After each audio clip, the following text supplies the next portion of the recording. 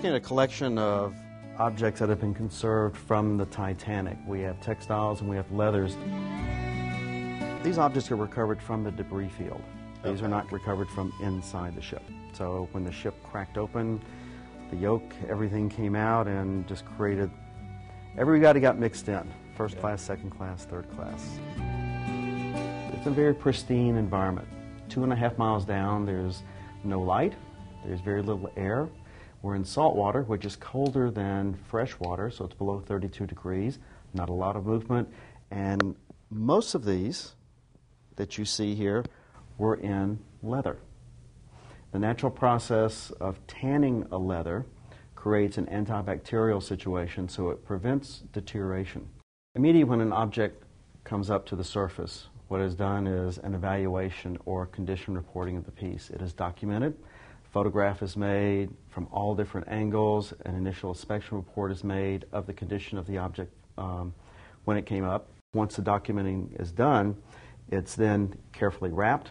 The number is placed with the object, and then it goes inside this huge container of seawater. It goes back into the environment that it came from. Sometimes for ob- objects like this that are recovered, uh, we don't treat them on board. We just pack them up and um, put them into storage, um, keeping them wet.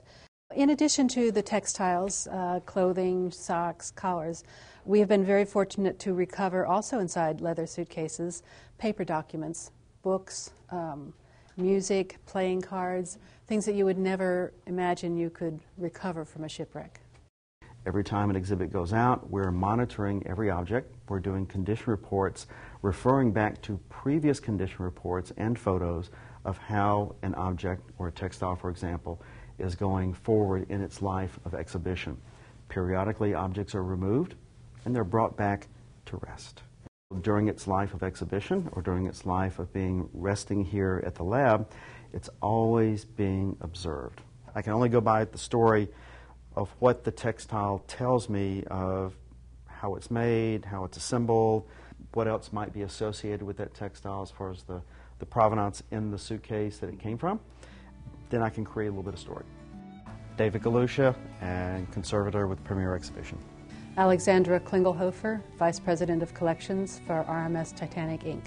We consider it uh, an honor, honor and a privilege to work with this collection, and so we take our work very seriously, but we do enjoy it.